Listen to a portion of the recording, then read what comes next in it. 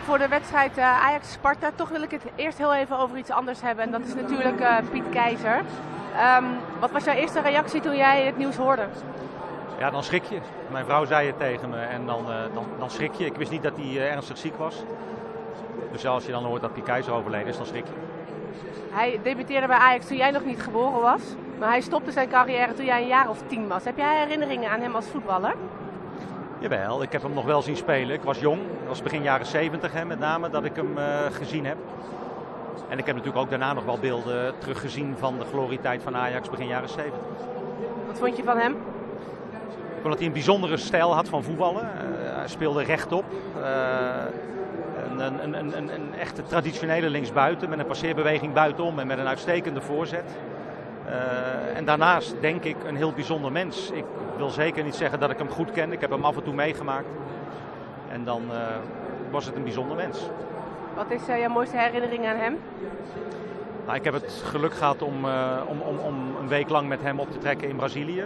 Waar, waar hij aan het scouten was, waar ik ook was.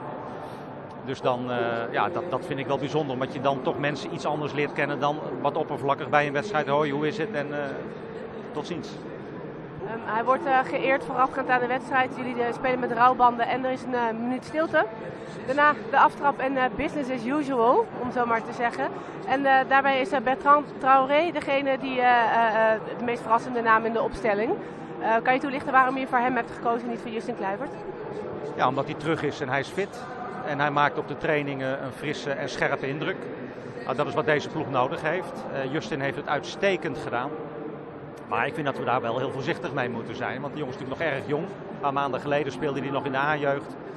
Uh, dus nu we de beschikking over Bertrand hebben, uh, stel ik hem gelijk op. Ja, nou kon je het met, uh, met Kluivert weer een beetje rustig aandoen en hem rustig brengen. Zoals eigenlijk oorspronkelijk de bedoeling zou zijn, denk ik, of niet? Ja, nee, maar als we hem nodig hebben, zullen we hem uiteraard brengen. Maar ik denk ook dat het goed is dat hij even een klein stapje terug doet. In vergelijking met de uitwedstrijd tegen Sparta, dat was de eerste wedstrijd van het seizoen, staan er uh, nog maar drie dezelfde spelers in het veld. Die staan wel alle drie op een andere positie. Wat zegt dat jou? Dat zijn Klaassen, Zinkgraven en uh, Veldman, voor de duidelijkheid. Wat zegt dat jou? Nou, dat ik in ieder geval aan het zoeken ben geweest. Hè. Ik heb dat ook aan het begin van het seizoen aangegeven, dat ik niet tevreden was, dat ik aan het zoeken was naar de juiste balans. En uh, nou, ik denk dat we die na een tijdje zijn gaan vinden met gelukkig beter voetbal en betere resultaten tot gevolg. Het doel van vandaag lijkt me duidelijk, dat is uh, winnen.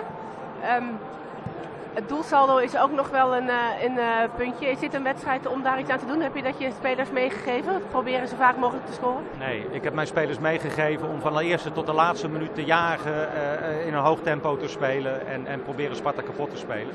Maar je praat niet over we moeten heel veel scoren. Dat is iets wat in een wedstrijd moet, moet, moet ontstaan. Maar het belangrijkste is dat we goed voetbal spelen, dat we de tegenstander opjagen, afjagen en, en deze wedstrijd winnen. Dan komen de doelpunten ook misschien. Als het goed is wel.